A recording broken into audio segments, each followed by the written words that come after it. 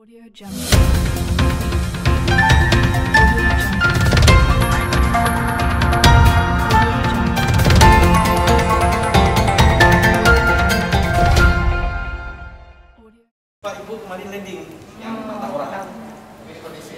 Loka Perekayasaan Teknologi Kelautan Wakatobi didampingi perekayasa peneliti menerima kunjungan Ketua Pengadilan Tinggi dan para hakim tinggi lingkup Pengadilan Tinggi Sulawesi Tenggara beserta jajaran. Ketua Pengadilan Negeri dan para hakim Pengadilan Negeri Wakatobi beserta jajaran, serta Ibu Ketua Darmayukti Karini Sulawesi Tenggara beserta anggota.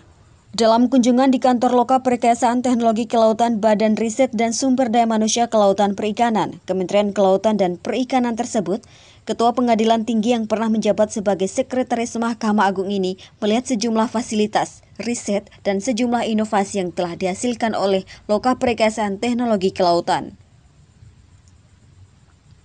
Di antaranya hasil riset terbaru berupa alat Automatic Identification System AIS yang diklaim menjadi teknologi AIS pertama yang cocok diterapkan di kapal perahu nelayan tradisional. Ketua Pengadilan Tinggi Sulawesi Tenggara sangat terkesan dan mengapresiasi pencapaian Satya Lencana Pembangunan yang merupakan penghargaan tertinggi yang diberikan Bapak Presiden Republik Indonesia kepada putra daerah Sulawesi Tenggara yang bisa membawa Indonesia lebih maju di bidang kelautan. Ia juga berharap semoga generasi muda Sulawesi Tenggara bisa mengikuti jejak ini.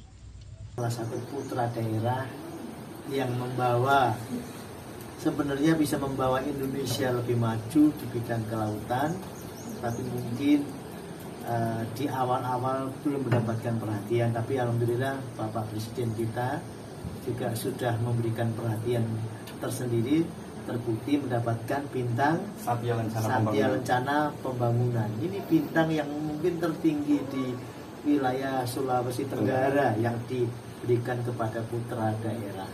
Tentunya kita tidak terbatas hanya putra daerah yang mendapatkan bintang yang cukup tinggi, tetapi bagaimana orang-orang atau putra daerah ini bisa mengikuti jejak ini kakaknya ya jejaknya Pak apa oh, lupa lagi Ah, Berlin.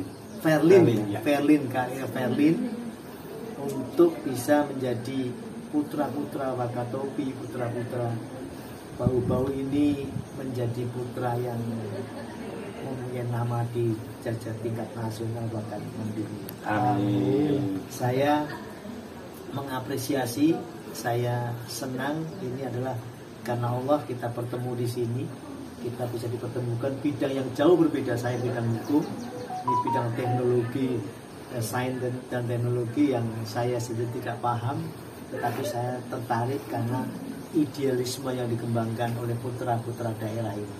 Tentunya selamat, sukses, dan ini menjadi laboratorium yang mungkin akan menjadi laboratorium terbesar dan hanya satu-satunya di Indonesia. Ya. Beliau juga menambahkan, semoga loka perekayasaan teknologi semakin besar agar terus menghasilkan teknologi di bidang kelautan dan kantor seperti ini tidak hanya ada di Wakatobi, tetapi juga di daerah-daerah lain di Indonesia. Sebagai pencegahan COVID-19, kegiatan ini dilaksanakan sesuai standar protokol kesehatan.